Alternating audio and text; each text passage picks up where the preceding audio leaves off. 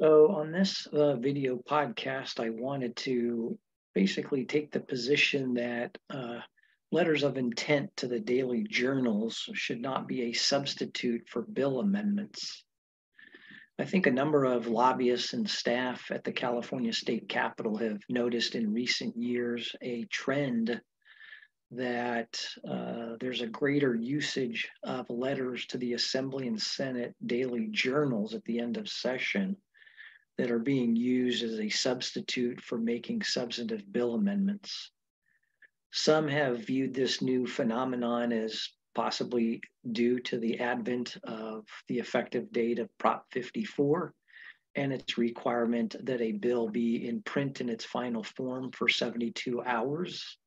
So that effectively precludes some last minute amendments, even clarifying amendments to bills, certainly during the last full three days of the legislative session. Uh, Prop 54 took effect in the 2018 session and has been around in the last couple of legislative sessions.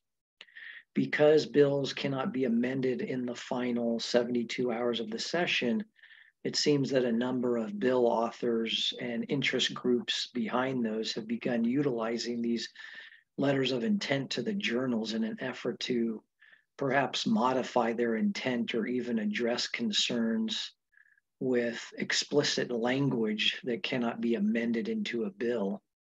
Unfortunately, the use of these letters is not a true substitute for actually making uh, changes to the statutory language contained in a bill. So, by way of background, both houses of the California legislature provide a process by which a legislator can publish a letter in either the Assembly Daily Journal, used by the author of a bill in the Assembly, an AB, or the Senate Daily Journal, generally used by the author of a Senate bill, in order to explain some ambiguity or perhaps the legislator's intent behind his or her bill. Now, historically, the Assembly and Senate have published these letters in their respective daily journals for a number of reasons, again, such as to explain an ambiguity in the bill, to explain particular changes in the law that are being proposed by that bill, or for a myriad of other reasons. And during the last uh, couple of legislative sessions since Prop 54 took effect, their use seems to have expanded as a potential substitute for actual bill language. Now, when considering the intent of the legislature, assuming there's ambiguity in the otherwise uh, language of the bill, state courts don't generally consider statements by individual legislators. This dates back to even the early 1930s um, in decisions by the California Supreme Court, such as the case of in re application of Lavine. Even when the individual legislator is the author of a bill, the courts view it as not being able to guarantee that the other members of the legislature who voted for that bill actually shared the same views about the bill as the author.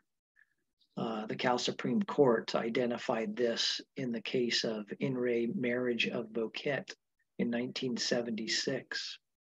So, for this reason, the state courts generally will only consider letters to the journal when the expression of intent appears to convey more than a merely personal view of the proponent of the bill. Like the Cal Supreme Court said in the 1993 case of Roberts versus City of Palmdale.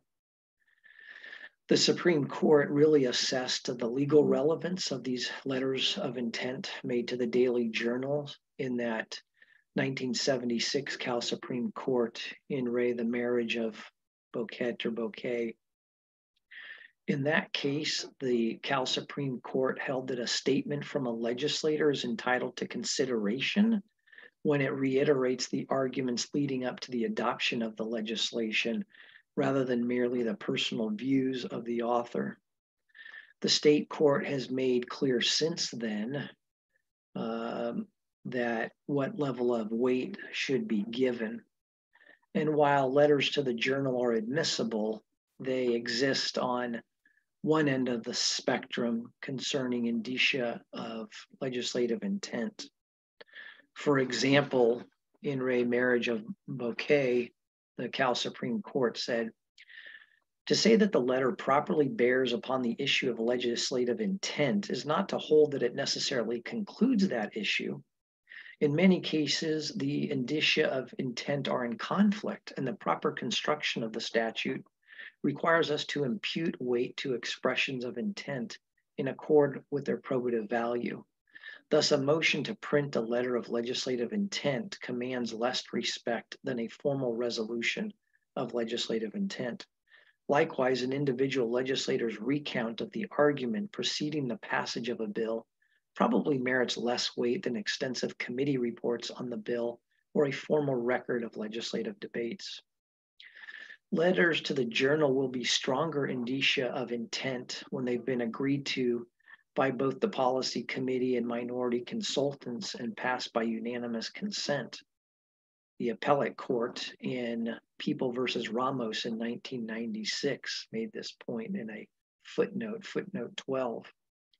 In addition, letters not practically available to the entire legislature are not as strong indicia as letters that were available prior to the legislative vote.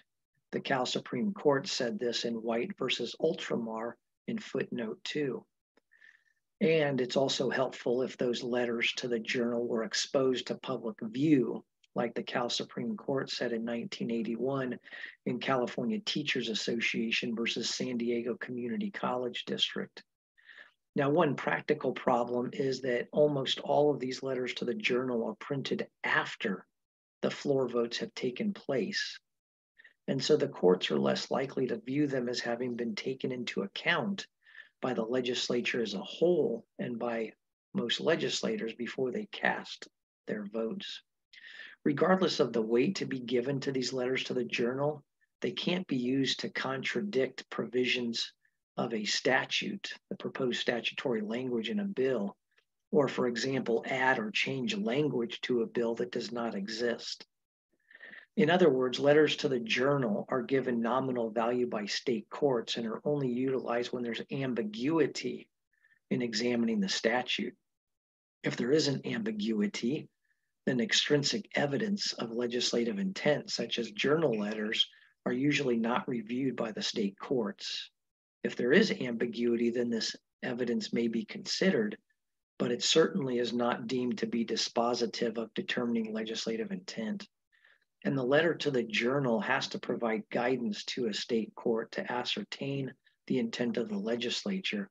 Again, it can't be utilized to change the plain language of the statute or to provide some alternative interpretation of the bill's language when that is not written into statute. In the end, if legislators or interest groups behind these bills want the language of a bill to say something or mean something else than what is found in the bill, then they're going to have to amend the bill prior to the 72 hour rule taking effect, or frankly, wait until the next legislative session to amend the bill to properly reflect their desired outcome.